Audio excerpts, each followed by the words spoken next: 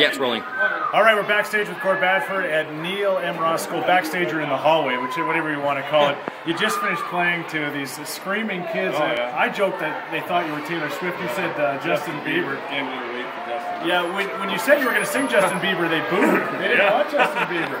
But uh, talk about the experience really quickly. Oh, tremendous! You know, I, I didn't know it was going to be that uh, electric. I guess it's uh, incredible. These guys have done such a great job in the school. Seventy-four thousand. 74,000. You ended up giving a couple of uh, brothers a guitar. Why? You know, I, I just uh, I wanted to I wanted to not not just to sing with somebody out in the school, but you know, I, I checked around as, as to you know is there someone in the school that's not actually It was cool. These two brothers did, and you know, and, and the thing is, like I asked them some questions as to why they did it. They had great answers.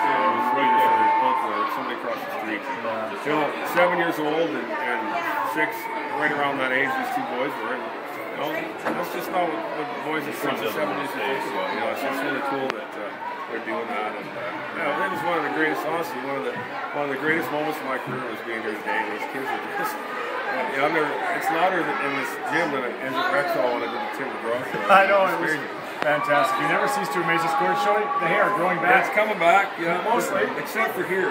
Yeah.